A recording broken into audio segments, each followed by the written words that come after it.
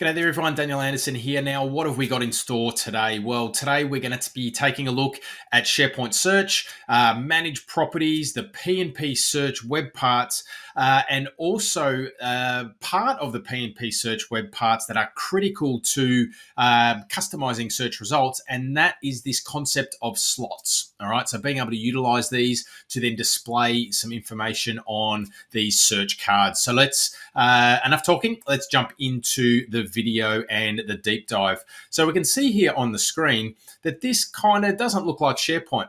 Now, this is uh, Microsoft Loop inspired. So there's a custom template that I've created and developed here um, that was a requirement to make it look and feel a little bit like Microsoft Loop. So that is this custom template that we've built inside of, well, on top of the PNP search web parts. Now you'll also notice here, and this is what we're going to use as our example, is this little uh, pill here that says must read. So this must read column is a piece of metadata that we've got uh, attached to our site pages library, uh, and then also is part of, or we've created a placeholder that we're going to use our slot for. So let's have a look at the architecture here.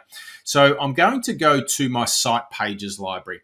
Now you can see here that on this site pages library, I've got this additional site column that I've added that is called must read. So if I jump into a news article here, so let's just say this one here, and I'll go to the properties of this particular page or this article, you'll be able to see that I've got a custom property here that says must read, and I can either toggle that to yes or no. Now, that's what is determining the visibility of this little pill here. And we'll jump into that in, in a second.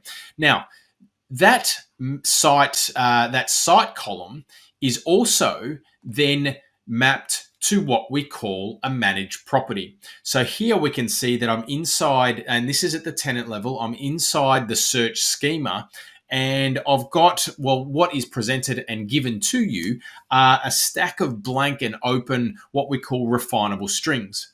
So this refinable string here, we need to use these managed properties to be able to utilize those in our search experiences and use them to provide that type of functionality.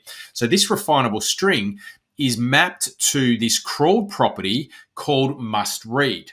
All right. So now we can use this property called refinable string in our search uh, solutions and our search web parts. Now, if I jump back onto my news card here, and I'll pop this page into edit mode.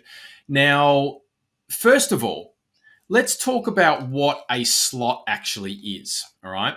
Now, it is part of the PNP and it's a concept and it's part of the PNP web part. So if I jump into the properties of this web part here, you can see that I'm in the PNP search results and I've got layout slots and I can customize these. But what is a slot, first of all? Well, a slot, as I said before, is a very important part of this overall solution, and it does become really handy when we're creating our own layouts. Now, it's a mapping. What it does is it provides a mapping between a data source, which is our managed property, and a placeholder variable used in our layout templates, which is where that, that pill comes into play. Um, and that's using that concept. So slot definitions uh, in our templates are going to be replaced dynamically by the underlying fields. Now, why would we want to use these? Well, they do allow us to get our data source, whether it's custom or built in, to work with all the templates without the need to refactor them and adapt them to the data source specific fields. All right. So it really is a, a convenient time saving feature um, to make our templates reusable. Now, there are a number of um, uh, slots that are made available out of the box. And then you can also define our custom slots. So if I jump into this customize option here, you can see that this panel flies out and we've got a stack of different mappings. We've got our slot name and we've also got our slot field. Now the slot name is what is that placeholder inside of our template. Down the bottom here, you can see that I've got this must read slot name. And on the right hand side, that is mapped to that refinable string 00, which is the, the managed property that we just saw before. That is the, the that crawled property then is integrated into as well. Now, if I just bring this over into this window, we can see that this is these templates are built using handlebars, right? I know uh, we're not going to go into the technical details of this. This template will be made available to you as well. So if you go to um, sharepoint.danielanderson.io forward slash uh, loop search template, then you can actually grab this template that we're using here. You can grab that for free, and then you can start to utilize this template in your uh, search results as well. But that is the, the, the format, right? So we've got a slot name there.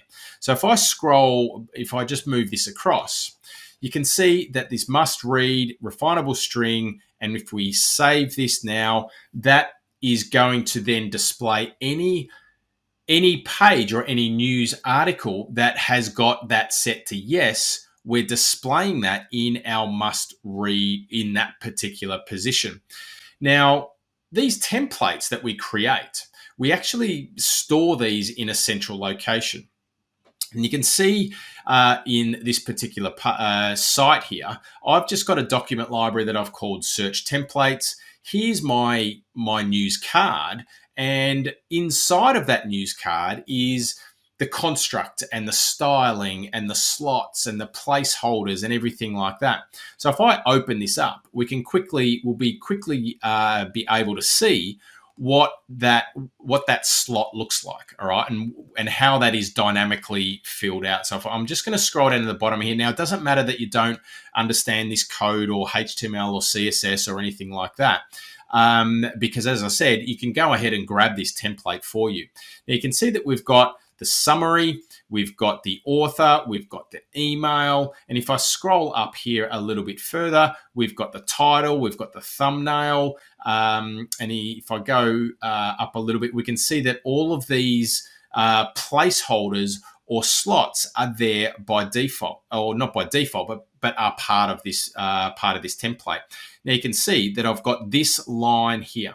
So if the must read equals yes, we're going to display that pill of must read. So that's how it kind of all ties in together.